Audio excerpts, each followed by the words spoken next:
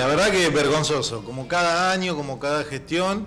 Eh, yo lamentablemente me había tomado un, descanso del sindicato, pensé que no iba a volver a pelear más por este, este tema de cuestiones, pero bueno, la gestión de Berteni emulando a la peor administración de la historia, que fue la pasada, sigamos, siguiendo los mismos caminos y, eh, realizando las mismas acciones, eh, y tiene la misma consideración de los trabajadores que tenía la gestión pasada. Nada, cero, digamos. No le importan las condiciones, somete a los trabajadores a prestar sus tareas en forma lamentable, lastimosa y poniendo en riesgo la salud, la integridad física de los trabajadores al extremo, digamos. Eh, ¿Cuándo debía ser entregada la ropa? Porque ustedes tenían fechas pautadas, habían hecho, digamos, una especie de organigrama. No, eso fue el año pasado. Este año no. Este año no se entregó ropa, se entregó discrecionalmente algunos eh, eh, elementos que tenían por ahí dando vuelta, algunos que áreas que por ahí necesitaban urgente, pero no se compró directamente, incluso en el presupuesto no está contemplada claramente la compra de entrega de ropa. Nosotros, eh, el otro día lo escuché al, candidato Turón, que miente, la verdad, eh, Turón, eh, lo conozco de hace muchos años, pero está mintiendo de una está cebado el muchacho, ¿viste? Y miente, miente, miente, miente, diciendo que había entregado ropa. La verdad, que recorra los lugares de trabajo, nosotros tenemos registros fotográficos de acá, de las localidades, que siempre es mucho peor no han entregado nada de ropa. Hemos hecho una presentación al Ministerio de Trabajo, esperemos que el Ministerio también eh, hoy juegan distinto, la verdad que nadie proteja a los trabajadores. Por, nosotros, por lo menos nosotros, esta institución va a hacer lo que le corresponde, va a pelear por los derechos. ¿Cómo están los trabajadores del Ecoazul? Porque digamos que uno de los puntos más sensibles tenía que ver con cómo estaban trabajando en la planta de residuos. Se habló de reformular lo que era la organización de la planta de residuos luego que vino el OPDS. ¿Qué pasa hoy? La gestión de Mertelli es malísima, es malísima. La verdad que los ciudadanos azuleños nos dejamos nubilar por una cuadrita de asfalto, tenemos las expectativas de vida como ciudad muy baja, a mí me molesta de sobremanera eh, esta situación, porque la, ciudad es un desastre y recuerdan la, frase que quedó grabada, que nosotros siempre decíamos en cada conflicto del basural, que el basural era la gestión de INSA.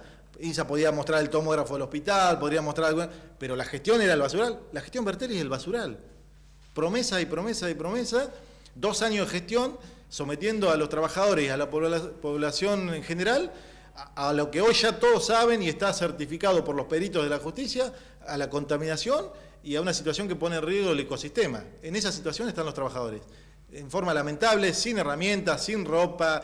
Todo lo que se ha mejorado se ha mejorado por el propio esfuerzo de los compañeros, como siempre. Yo resalto mucho la, participación de ellos en cada vez que puedo, porque la verdad que hay que estar ahí todos los días poniéndole el hombro a, a una gestión que no los considera en absoluto. ¿Cómo se manejan con quienes están a cargo, digamos, de eh, cada una de las áreas. ¿Ustedes tienen diálogo, han podido acceder al diálogo o directamente tienen que ir por las presentaciones formales? No, nosotros hemos agotado la instancia de diálogo. cada vez que nosotros salimos mediáticamente, eh, y ustedes saben bien que hace mucho que no lo hacemos, es porque la verdad llevamos, estiramos en demasía, eh, a, mi, a mi propio gusto, digamos, excesiva, diálogo, para nada. Entonces puede mantener diálogo si hay respuesta, pero la verdad que no hay respuesta y, nosotros no, tenemos ningún compromiso político ni con Bertelli ni con ninguna fuerza política. Nosotros nos vemos a los compañeros.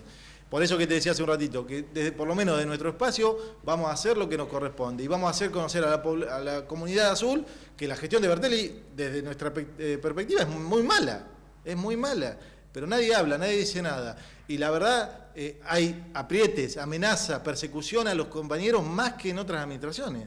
Por eso también a nosotros nos cuesta a veces eh, idear alguna, alguna estrategia de lucha. Pero bueno, nosotros estamos dispuestos a, dejar todo de nuestra institución para que la comunidad lo sepa, para revertir esta situación y para que los compañeros eh, trabajen en condiciones dignas como se merecen. ¿Deberán esperar ahora la intervención del Ministerio de Trabajo? Sí, obvio. Nosotros siempre somos respetuosos de la institución, esperaremos qué dice el Ministerio. Eh, vuelvo a, referirme, yo tengo muy, expectativas muy bajas con, las instituciones que el macrismo en, líneas generales baja desde, desde Nación. Eh, nosotros, y lo, pongo un poco en la nota, nosotros hoy estamos peleando con lo que estamos peleando con las leyes a favor. Eh, están en un proceso de reforma laboral y demás. Lo que tienen que reflexionar los trabajadores es esto. Si nos cuesta conseguir y defender los derechos hoy, imagínense lo que nos va a pasar más adelante por eso llamo a la reflexión a todos los trabajadores, a los municipales, pero a todos los trabajadores en general, que la verdad que abramos un poquito más los ojos, que no seamos egoístas de ver cómo cada uno está, que a lo mejor está bien, pero ya hemos vivido otras épocas donde a algunos trabajadores les va bien y otros terminaron en la miseria, eh, excluidos de toda, de toda posibilidad de progreso. La verdad, a mí me preocupa estas situaciones. Eh, los diálogos y, las y, lo, que te venden eh, publicitariamente es muy lindo, pero la realidad que vivimos, la verdad, es lastimoso.